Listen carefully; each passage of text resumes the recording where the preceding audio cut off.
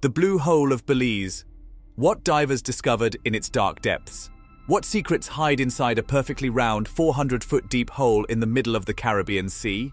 Divers say it's darker, stranger, and more mysterious than anyone expected. Welcome back to Terra Mystica, where we explore the world's most baffling wonders.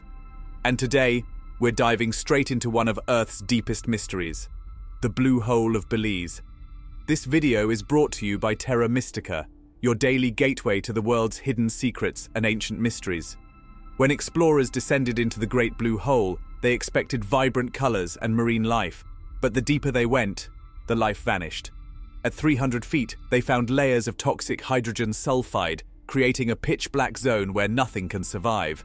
Then came the shock massive stalactites, hanging like the ribs of an ancient cathedral, proof this sinkhole was once a dry cave during the Ice Age, and even stranger, divers discovered collapsed cave systems and unusual formations that hint at sudden violent geological events. Some believe these structures could rewrite the history of sea levels.